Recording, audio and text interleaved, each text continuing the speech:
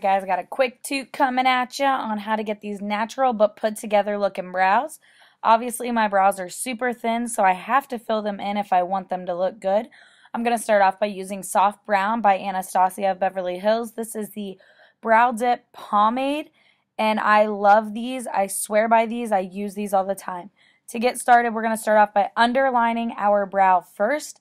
I like to do this. It gives me a base to work on and then I go in and kind of work the arch and then down to the tail.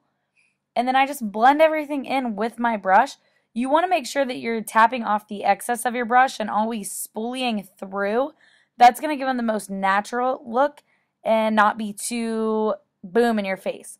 Next, going in with this ash brown, the darker side from Anastasia Beverly Hills, and then filling in pretty much just the tail and the middle portion out, and then taking the spoolie, running that through again, and then, of course, we got to clean them beaches up.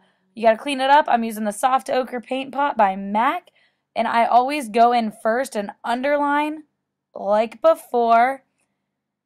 And then I don't like outline the whole entire brow. I underline it. I'll kind of blend that out. As you can see me doing here. And then I'll go in my finger and blend that out. And then I outline the end, the tail end of it just to give that a nice sharp appearance.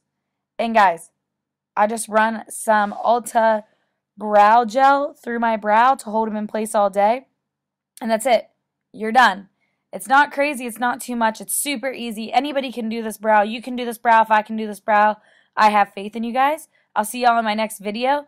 Thank you so much for watching. And I'll talk to you soon. Bye.